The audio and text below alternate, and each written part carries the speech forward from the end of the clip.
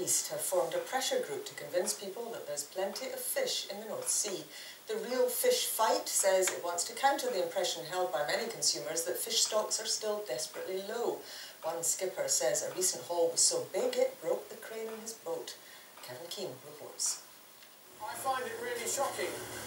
The TV presenter Hugh Fearnley Whittingstall and his fish fight campaign to save Britain's stocks. But this is what the real fish fight, a group of fishermen in the northeast, say sections of our waters are really like. This haul of mature cod was estimated to weigh 30 tonnes, an illustration, they say, that the fish is back. Some of the green lobby are actually trying to finish the fishing industry. They're wanting in the North Sea left, left of the aquarium, and we just can't have that, you know. We would like the scientists to come out with us and see what we are seeing on the grounds of the recovery. Because I have a fear that the science is not actually keeping up with what the fishermen are saying.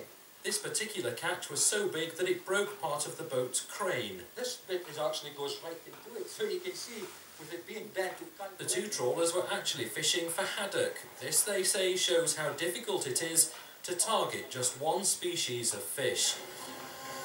But what environmental groups fear is a return to these bad old days. 2003 and the fish was running out. Dozens of perfectly seaworthy Scottish boats were broken up in this Danish scrapyard.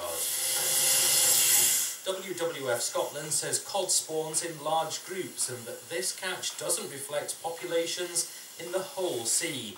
The fishing minister is cautiously pleased. That shows the amount of work our fishermen are putting in and as a result of that, the cod stock is now recovering. It's still got some way to go before it's purely sustainable, but this is a sign that the cod stock is recovering and that has to be taken into account by Europe in terms of moving forward with the discard ban and future fishing policy.